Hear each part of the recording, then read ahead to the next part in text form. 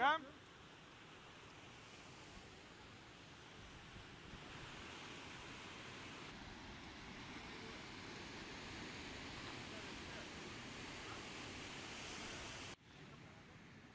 Aya.